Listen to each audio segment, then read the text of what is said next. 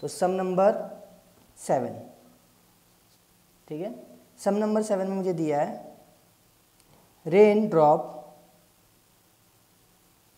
rain drop of diameter, rain drop of diameter 0.03 centimetre is falling with with velocity with velocity 2.2 meter per second if coefficient if coefficient of viscosity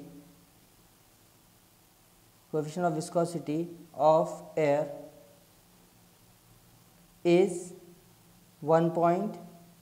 1.75 into 10 raised to power minus 4 Newton second per meter square. Calculate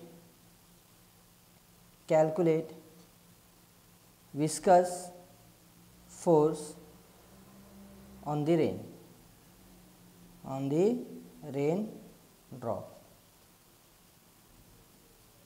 ठीक है तो मुझे इसमें given terms क्या है? ठीक है? तो वो टर्म्स है rain drop of diameter means जो ड्रॉप रेन ऑफ़ ड्रॉप है, उसका मुझे डायमीटर दिया है 0.03 सेंटीमीटर ओके नेक्स्ट दिया है is falling with velocity means कितने की स्पीड से वो फॉल हो रही है?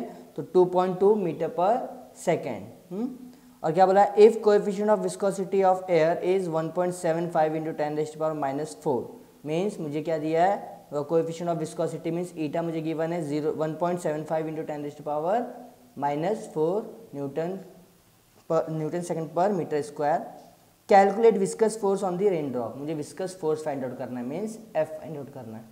तो सबसे पहले given terms diameter 0.03 centimetre given है. उसको रेडियस में कन्वर्ट करता हूँ तो रेडियस हो जाएगा मेरा समथिंग 0.015 सेंटीमीटर तो इसको मीटर में बनाना है तो 0.015 point zero one five into ten डिस्ट power minus two metre ये मुझे आर मिल गया। ठीक है? आर का कन्वर्जन मिल गया। नेक्स्ट मुझे गिवन टर्म है।